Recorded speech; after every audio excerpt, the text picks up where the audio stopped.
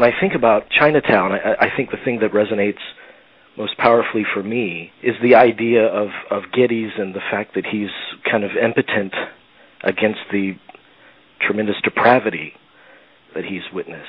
Uh, was was that a major theme for you? Well, yeah, yes. Uh, bearing in mind that um, he didn't think he was. Yeah. Uh, uh, I mean, you know, he he, he thought he he could be ahead of the game and never fully realized the extent to which he was behind the game. Mm. You know, he, he thought he could control uh, more than he could uh, and and do more about it.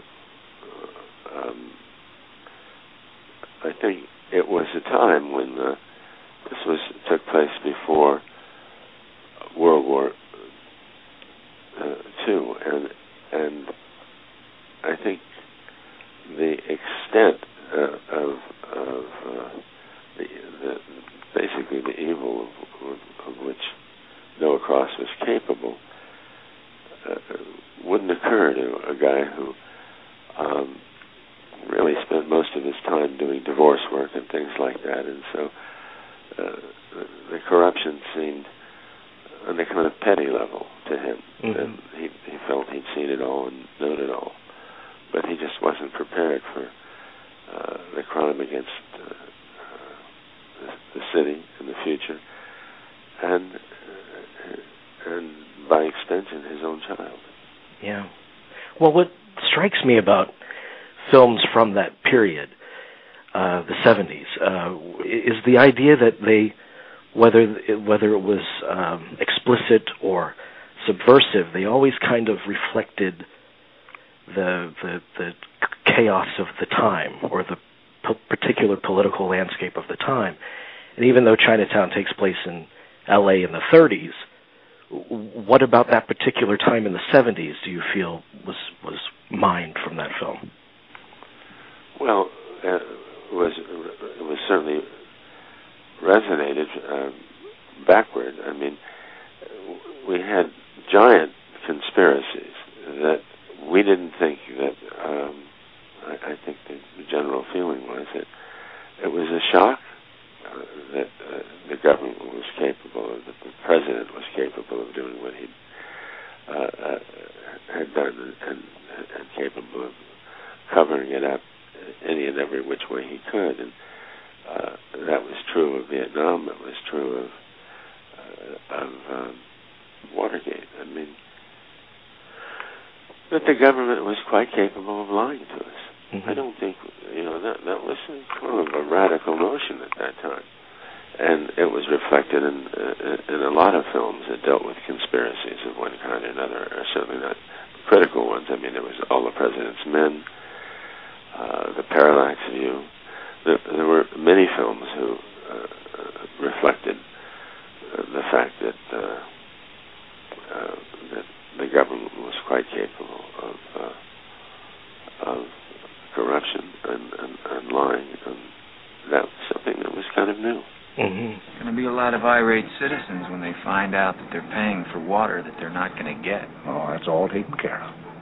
See, Mr. Gibbs, either you bring the water to L.A. or you bring L.A. to the water. How are you going to do that? By incorporating the valley into the city. Simple as that. How much are you worth? I've no idea. How much do you want? No, I just want to know what you're worth. Over ten million? Oh, my, yes. Why are you doing it? How much better can you eat? What can you buy that you can't already afford? The future, Mr. Gibbs. The future. In terms of your script, it, it's, I mean, it's renowned for its uh, for its beautiful structure, and I understand that that was an arduous process to kind of achieve the, the balance of all these these elements, wasn't it? Yes.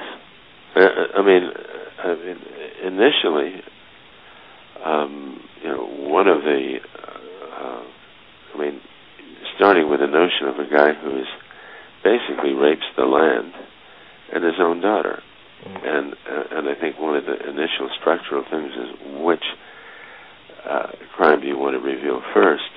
And actually, I had to think about that for a while. And it became became obvious that the the more public crime was the one that had to go with first, and then work your way into uh, the, the personal one. What were there subplots and kind of backstories along the way that that got uh, that got thrown out? Uh, well, in a way, yeah. Uh, there was a subplot that dealt with Escobar, the the the uh, cop who had worked with Gittes in Chinatown, and uh, in one permutation of it, there was a, a, a plot that actually had him um, knowing from childhood uh, Evelyn Mulwray. Mm-hmm. Um, but just in, in in the end, that was sort of dropped because it was impossible to. I mean, it was quite complicated enough as it was. Yeah. Tell, I know that you worked very closely on a few, uh, with uh, your collaborators on on quite a few of your projects, particularly in this period. Uh, tell me about uh, Mr. Polanski, who I'm obsessed with his work as well. What kind of special flavor he brought out in your script that was unique to him, in your view? Well, certainly one of the things that, that Roman was um, Roman was wonderful at at, at um, being willing to take the time uh, uh, with a story that that was um, you know that complicated and, and or complex or however you want to put it. Roman, you know, you know the term shoe leather in terms of movies, mm.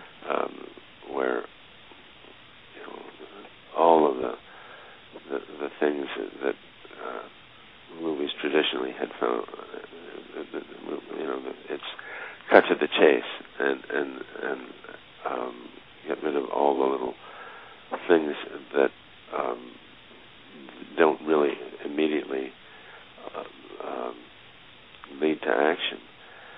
But Roman understood that in order to make it realistic, um, that the shoe leather aspect of it was uh, uh, was important. Mm-hmm. And I mean, uh, scenes, for example, like uh, going to the Hall of Records and taking the time to go through uh, all of those details that actually gave it a level of reality that that uh, otherwise it never would have had to be willing to take the time to do that. And it, and it kind of adds to the immersive quality of, of the film too. Those those details. And his willingness to uh, to make it totally about the uh, from the point of view of, of the detective, mm-hmm. uh, I think was critical. And to this day, I think it's the only film I can think of in, in which the point of view is never broken. Right, right. Were with him, and and you, you were always.